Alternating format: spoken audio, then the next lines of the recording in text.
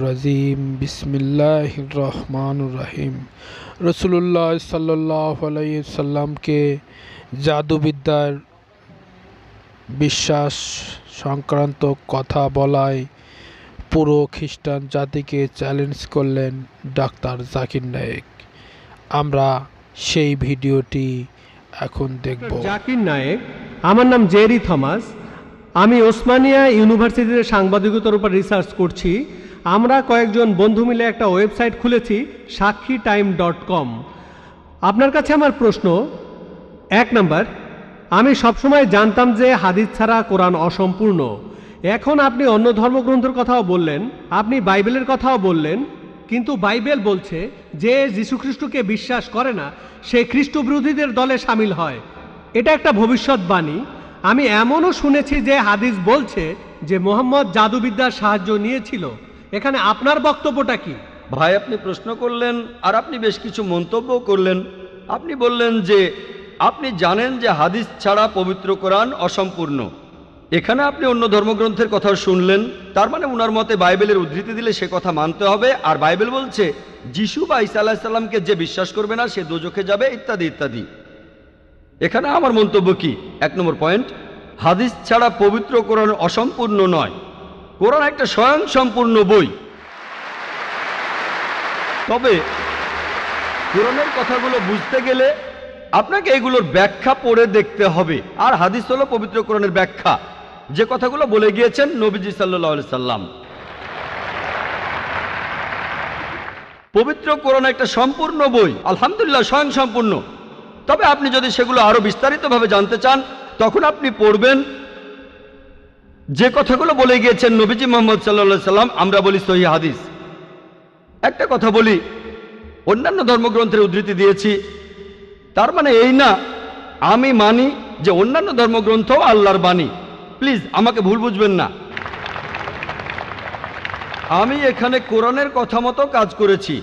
আল্লাহ পবিত্র কোরআনে বলেছেন, সুরা ইমরানের চৌষট্টি নম্বর আয়াতে উল্লেখ করা হয়েছে তালা ইলা কালিমাতিন সাওয়াইম বাইনান বাইনকুম। এসো সেই কথা যাহা আমাদের ও তোমাদের মধ্যে এক। আমি সাদৃশ্যের কথা বলছি।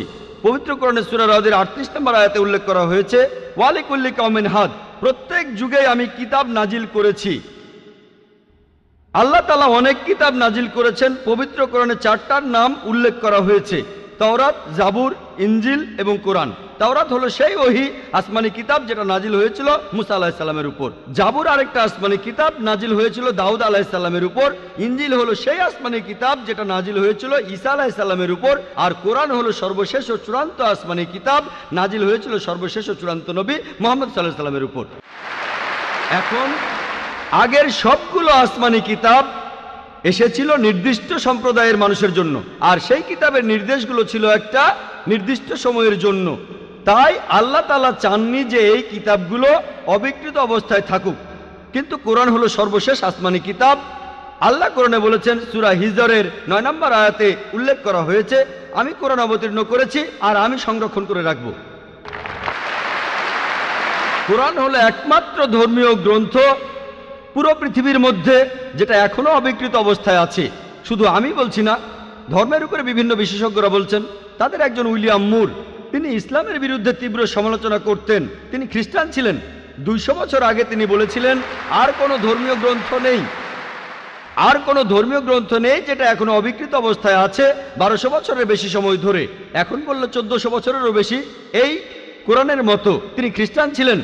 ইসলাম ধর্মের তীব্র সমালোচক ছিলেন। তিনি সত্যি কথাটা স্বীকার করেছেন, কোরআন অবিকৃত অবস্থায় আছে। কিন্তু অন্যান্য সব ধর্মগ্রন্থ সেগুলোর কথা বদলে গেছে। এমনকি বাইবেলও। আমি বাইবেলকে আল্লাহ তালার বাণী বলে মানি না। আমরা মুসলিমরা বিশ্বাস করি সেই ওহিতে যেটা দেওয়া হয়েছিল ঈসা আলাহিসাল্লামকে ইঞ্জিল কিন্তু এখন আমরা যে বাইবেলটা দেখি, এই বইটা একটা মিশ্রণ।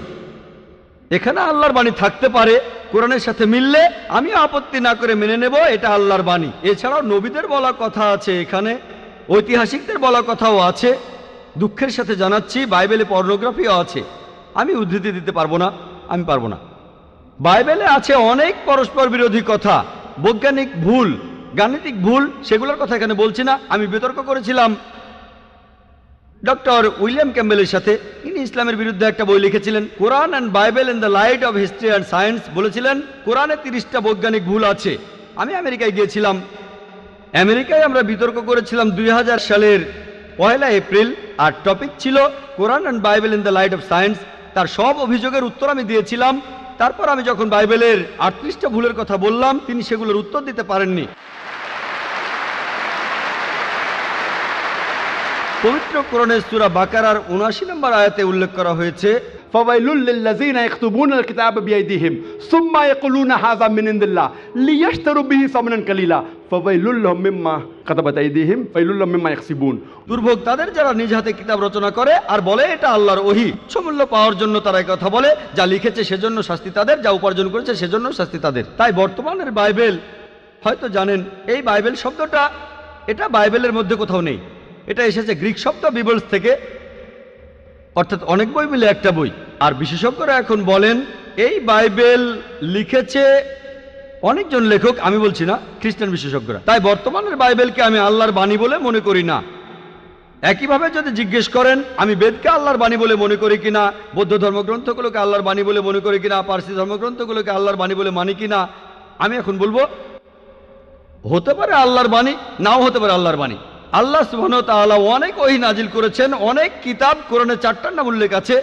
তবে এছাড়াও আছে যেমন সুফে ইব্রাহিম, এরকম অনেক আছে। আমি এখানে বলব, হতে পারে হিন্দু ধর্মগ্রন্থ, হতে পারে আল্লাহর বাণী, হতে পারে বৌদ্ধ ধর্মগ্রন্থ, সেগুলো আল্লাহর বাণী, তারপর পার্সি ধর্মগ্রন্থ, আল্লাহর বাণী হতে পারে, কিন্তু আসমানি কিতাব হলেও সেগুলো নির্দিষ্ট জাতি আর নির্দিষ্ট সময়ের জন্য।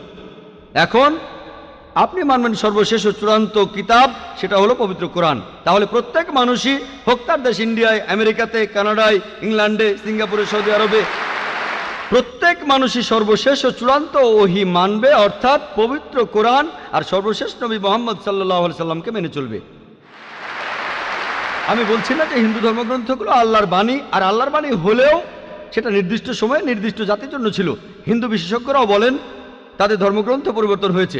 বৌদ্ধ বিশেষজ্ঞরা বলেন, তাদের ধর্মগ্রন্থ পরিবর্তন করা হয়েছে। প্রত্যেক ধর্মের বিশেষজ্ঞরাই শুধু ইসলাম বাদে সবাই বলে যে তাদের ধর্মগ্রন্থে পরবর্তীতে কথা বদলানো হয়েছে, পরিবর্তন করা হয়েছে। তবে আমি যদি এখানে তর্কের খাতিরে মেনেও নেই, এটা আল্লাহ তালার বাণী যদি এমনটা হয়, আর সেই ধর্মের অনুসারীরা তারা মানে এটা আল্লাহ তালার বাণী, তাহলে সেই ধর্মগ্রন্থ তাদের অক্ষরে অক্ষরে মানা উচিত। বৌদ্ধরা যদি মানে তাদের ধর্মগ্রন্থ আল্লাহ তালার বাণী, হিন্দুরা যদি মানে তাদের ধর্মগ্রন্থ আল্লাহ তালার বাণী, খ্রিস্টানরা যদি মানে তাদের ধর্মগ্রন্থ আল্লাহ তালার বাণী, তাহলে আপনাদের ধর্মগ্রন্থেই বলা হয়েছে, আপনাদের মেনে চলতে হবে সর্বশেষ নবীর কথা, মোহাম্মদ সাল্লা সাল্লামের কথা।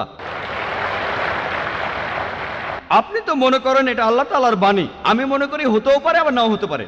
আপনি মনে করেন সেটাই আল্লাহ তালার বাণী, তাহলে আপনি সেটার কথা মেনে চলেন। সর্বশেষ আর চূড়ান্ত নবীকেও আপনি বিশ্বাস করেন। আমি আগেও বলেছি, পবিত্র বাইবেলে গসপেল অফ জন ষোলো নম্বর অধ্যায়ের বারো থেকে চোদ্দ অনুচ্ছেদে আছে। ঈসা আলাইসাল্লাম বলছেন, আমি তোমাদের অনেক কথা বলতে চাই, কিন্তু তোমরা সেটা এখন বুঝতে পারবে না, কারণ যখন সত্যের আত্মা তোমাদের সামনে আসবে, সে তোমাদের সত্যের পথে নিয়ে যাবে।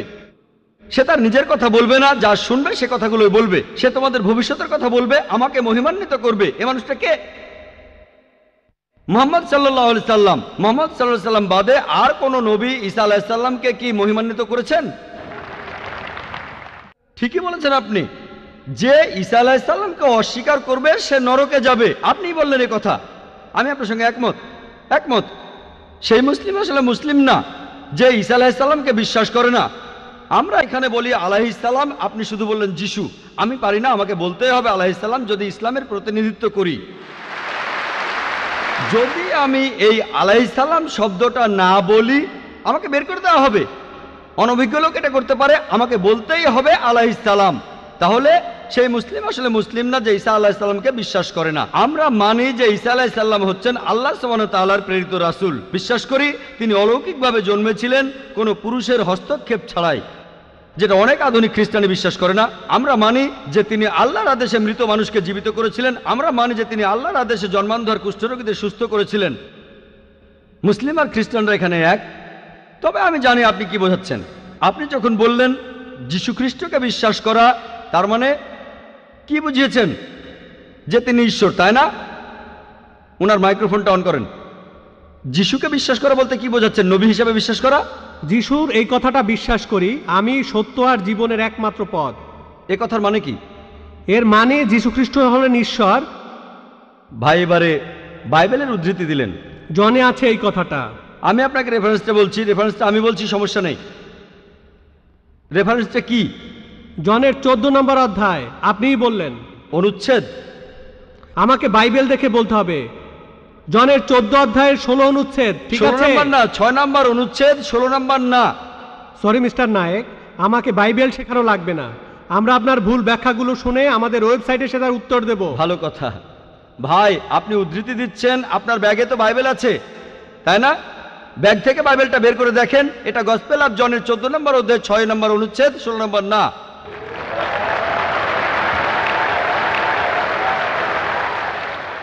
আর আপনি বললেন, ঈসা মসি আলাহিসাল্লাম তিনি বলেছেন যে তিনি ছিলেন ঈশ্বর। আপনার প্রশ্নতে পরে আসছি। প্রশ্নের উত্তরটা দেওয়ার আগে আমি একটা কথা বলে নিই। আমি বাইবেল পড়েছি। গোটা বাইবেলের মধ্যে পরিষ্কারভাবে বলা এমন একটা কথাও নেই যেখানে যিশু বা ঈসা আলাহিসাল্লাম নিজে বলেছেন, আমি ঈশ্বর আর আমার উপাসনা করো। যদি কোনো খ্রিস্টান আমাকে দেখাতে পারেন, গোটা বাইবেলের মধ্যে পরিষ্কারভাবে বলা মাত্র একটি কথা যে ঈসা আলাইসাল্লাম নিজেই বলেছেন যে আমি ঈশ্বর আর আমার উপাসনা করো, তাহলে আমি ডক্টর জাকির নায়ক আজকেই খ্রিস্টান ধর্ম গ্রহণ করব। আমি অন্য মুসলিম ভাইদের পক্ষ থেকে এই কথা বলছি না, আমি আমার মাথাটা তরবারি তলে রাখছি, আমি বিভিন্ন ধর্মের উপর একজন ছাত্র। আপনি বাইবেল পড়েছেন আর আমিও পড়েছি বাইবেল আপনি বললেন যে আপনাকে বাইবেল শেখানো লাগবে না। ইসা এই কথা নিজে বলেছেন, সত্যকে খোঁজো, সত্যই তোমাকে মুক্ত করবে। ইনশাল্লাহ আজকে আপনি সত্য দেখবেন, আর ইনশাল্লাহ সত্য আপনাকে মুক্ত করবে। আমি কথাটা আবার বলছি, গোটা বাইবেলে পরিষ্কারভাবে বলা এমন একটা কথাও নেই, যেখানে যিশু বা ইসা আলাহিসাল্লাম নিজেই বলেছেন, আমি ঈশ্বর, আর আমার উপাসনা করো। আপনারা যদি বাইবেল পড়েন ইসা আলাহিসাল্লাম তার নিজের মুখেই বলেছেন। এটা আছে গসপেল অফ জন, চোদ্দ নম্বর অধ্যায়ের আঠাশ অনুচ্ছেদে বলেছেন, আমার পিতা আমার চাইতে মহান। গসপেল অফ জন দশ নম্বর অধ্যায়ের উনত্রিশ অনুচ্ছেদ, আমার পিতা সবার চাইতে মহান। গসপেল অফ ম্যাথিউ বারো নম্বর অধ্যায়ের আঠাশ অনুচ্ছেদ। আমি ঈশ্বরের আত্মার সাহায্যে শয়তানকে তাড়িয়ে দিই। গসপেল অফ লুক এগারো নম্বর অধ্যায়ের বিশ অনুচ্ছেদ। আমি ঈশ্বরের আঙ্গুলের সাহায্যে শয়তানকে তাড়িয়ে দিই। গসপেল অফ জন পাঁচ নম্বর অধ্যায়ের তিরিশ অনুচ্ছেদ। আমি আমার নিজের থেকে কিছুই করতে পারি না। আমি এখানে বিচার করি আর আমার বিচার সঠিক, কারণ আমি আমার ইচ্ছায় কাজ করি না, আমার পিতার ইচ্ছায় কাজ করি। যদি কেউ বলে সে আল্লাহর ইচ্ছা মতো কাজ করে, সে একজন মুসলিম। ঈসা আলাহিসাল্লাম একজন মুসলিম। তিনি নিজেকে ঈশ্বর বলেননি। বুক অব অ্যাক্সে পরিষ্কার বলা আছে। দুই নম্বর অধ্যায়ের বাইশ অনুচ্ছেদ বলা হয়েছে, হে ইসরায়েলের সন্তানেরা একথা শোনো নাজারের শহরের যিশু ঈশ্বর প্রেরিত একজন পুরুষ তোমাদের মাঝে। সে অনেক অলৌকিক কাজ করবে, সেগুলো তাকে ঈশ্বর করাবেন, তোমরা তার সাক্ষী থাকবে। ঈশ্বর প্রেরিত একজন পুরুষ তোমাদের মাঝে, সে অনেক অলৌকিক কাজ করে দেখাবে, ঈশ্বর তাকে দিয়ে করাবেন, আর তোমরা তার সাক্ষী থাকবে। তাই বাইবেল স্পষ্ট করে বলছে যে, ঈসা আলাহিসাল্লাম ছিলেন একজন মানুষ। তিনি আল্লাহ তালার প্রেরিত একজন রাসূল, কিন্তু আল্লাহ নন। গোটা বাইবেলের মধ্যে পরিষ্কারভাবে এমন একটা কথাও নেই, যেখানে ঈসা আলাহিসাল্লাম নিজেই বলেছেন যে, আমি ঈশ্বর, আমার উপাসনা করো। আপনি একটা উদ্ধৃতি দিয়ে সেটা প্রমাণ করতে চাইলেন। যে গসপেল অফ জন চোদ্দ নম্বর অধ্যায়ের ছয় অনুচ্ছেদে বলা হয়েছে, যিশু সাল্লাম নিজেই বলেছেন, আমি সত্য আর জীবনের একমাত্র পথ, আমাকে ছাড়া আমার পিতার কাছে কেউ যেতে পারবে না। এখানে প্রসঙ্গ ছাড়া উদ্ধৃতি দিচ্ছেন। লোকজন পবিত্রকরণের আয়াত নিয়ে প্রসঙ্গ ছাড়া উদ্ধৃতি দেয় দুর্নাম করতে। একইভাবে খ্রিস্টান মিশনারিরা বাইবেলের প্রসঙ্গ ছাড়া উদ্ধৃতি দেয়। আপনাকে একটা সত্য কথা বলি, আপনার বাইবেলটা খোলেন। যদি সন্দেহ থাকে, বাইবেলটা খোলেন। প্রসঙ্গ জানতে এক নম্বর অনুচ্ছেদটা পড়েন। গসপেল অফ জন চোদ্দ নম্বর ওদের এক অনুচ্ছেদ বলছে যে, তোমরা ভয় পাচ্ছ কেন? যিশু বা ইসাল্লাম বলছেন, যদি তোমরা ঈশ্বরকে বিশ্বাস করো, তাহলে আমাকে বিশ্বাস করো। আমার পিতার রাজ্যে অনেক প্রাসাদ আছে। আমি সেখানে গিয়ে তোমাদের জন্য জায়গা তৈরি করব।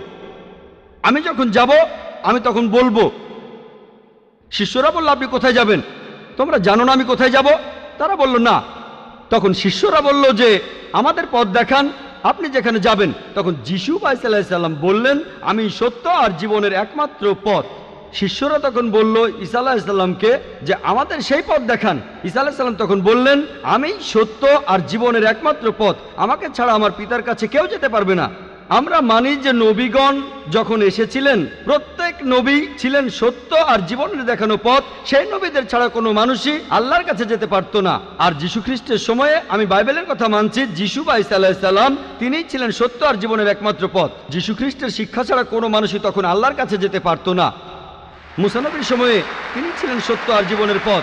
মুসা আল্লাহ সাল্লামের শিক্ষা ছাড়া কোনো মানুষই আল্লাহর কাছে যেতে পারতো না। এখন দেখেন, ঈসা আল্লাহ সাল্লাম নিজেই বলেছেন আমি তোমাদের অনেক কথা বলতে চাই। শিষ্যদের বলছেন, এটা আছে গসপেল অফ জন, ষোলো নম্বর অধ্যায়ের বারো থেকে চোদ্দ অনুচ্ছেদে। আমি তোমাদের অনেক কথা বলতে চাই, কিন্তু তোমরা সেগুলো এখন বুঝবে না, কারণ যখন সেই সত্যের আত্মা আসবে, সে তোমাদের সত্যের পথে নিয়ে যাবে, সে তার নিজের কথা বলবে না, যা শুনবে সে কথাই বলবে, সে তোমাদের ভবিষ্যতের কথা বলবে, আমাকে মহিমান্বিত করবে। আর এখন দেখবেন, ভালো করেই দেখবেন যে নবীজি মোহাম্মদ সাল্লাহ সাল্লাম তিনি সত্য আর জীবনের একমাত্র পথ। মোহাম্মদ সাল্লাহ সাল্লাম যা শিখিয়েছেন, সেগুলো ছাড়া কেউ আল্লাহর কাছে যেতে পারবে না। আর মোহাম্মদ সাল্লাহ সাল্লাম ছিলেন সর্বশেষ আর চূড়ান্ত নবী। এখনকার দিনে দেখবেন, হোক সেই লোক বাস করছে আমেরিকায়, কানাডায়, ইংল্যান্ডে, ইন্ডিয়ায়, সৌদি আরবে, পৃথিবীর যেখানেই থাকুক, এখনকার দিনে সবার জন্য মোহাম্মদ সাল্লাহ সাল্লাম তিনি হলেন পথ, সত্য আর জীবনের। মোহাম্মদ সাল্লাহ সাল্লাম যা শিখিয়েছেন, সেগুলো ছাড়া কেউ আল্লাহর কাছে যেতে পারবে না। আর প্রায় সব ধর্ম, সব ধর্মগ্রন্থ এরকম কথা বলছে, এমনকি বাইবেলও। আশা করি আপনি সত্যটা জানতে পেরেছেন, আর ইনশাল্লাহ আপনি সত্যের কাছে এসেছেন, সত্য আপনাকে মুক্ত করবে। আপনাদের কাছে ভিডিওটি কেমন লাগল অবশ্যই লাইক, শেয়ার, কমেন্ট করে আমাদেরকে জানাবেন। আর ইসলাম প্রসারে সহায়তা করুন ভিডিওটি শেয়ার করে। আর যদি আপনার চ্যানেলে নতুন হয়ে থাকেন, অবশ্যই চ্যানেলটি সাবস্ক্রাইব করে বেল বাটনটি অন করে দিয়ে আমাদের পাশেই থাকুন। আর অলরেডি যদি সাবস্ক্রাইব করে থাকেন, অসংখ্য ধন্যবাদ। আসসালামু আলাইকুম ওরহমতুল্লা